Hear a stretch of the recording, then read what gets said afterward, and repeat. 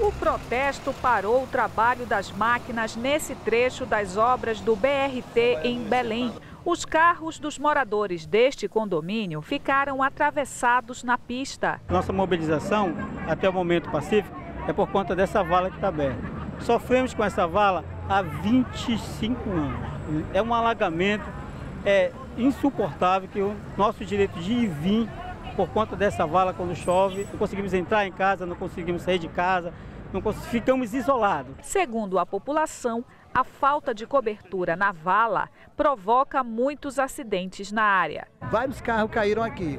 Quem não conhece, desconhece. Aqui se chama Piscinão da Coca-Cola. É conhecidíssimo isso aqui. Ônibus já caiu. Normalmente, quem desconhece, visitante, cai. Cai mesmo. A passagem do BRT é a nossa esperança de que essa vala aberta tivesse um fim. E ontem recebi do consórcio BRT e da prefeitura que essa vala vai continuar aberta.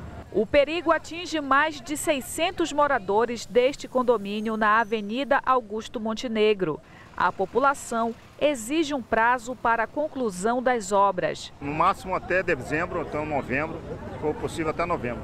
Porque a chuva está chegando, né? Janeiro está chegando aí, fevereiro, a chuva é muito mais intensa aqui em Belém, entendeu? Então tem que ser o mais rápido possível. Senão amanhã a gente vai ter que fazer uma coisa muito mais drástica que está sendo feita hoje.